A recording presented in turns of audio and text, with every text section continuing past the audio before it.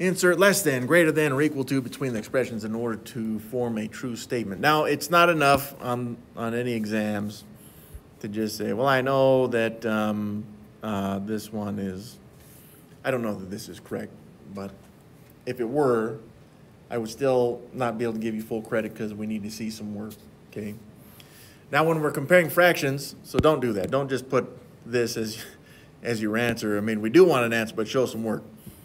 Uh, all we need here is common denominators, just like we would with addition and subtraction to see which one's bigger, right? So I'm gonna, I'm not gonna find the lowest common denominator, I suppose. I just don't care if it's the lowest common denominator. I'm gonna use the same method I would use to find common denominators with addition and subtraction. Just take the denominator of one fraction and multiply it into the other one. So the nine denominator, I would multiply by the eight and eleven. And again, this guarantees common denominators. It's a negative fraction.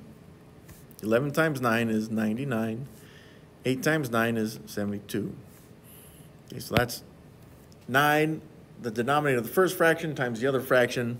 Now I take the 11 denominator, multiply it by the numerator and denominator of the first fraction.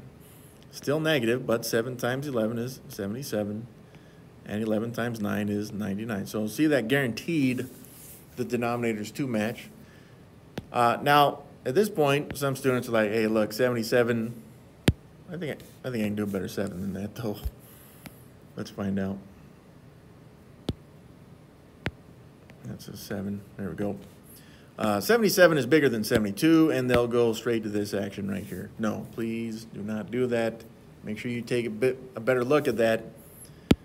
Uh, the problem there, they these are negatives, so it's asking, would you want to have more negative or less negative? Yeah, you should want less negatives well, I guess I'm thinking in terms of money.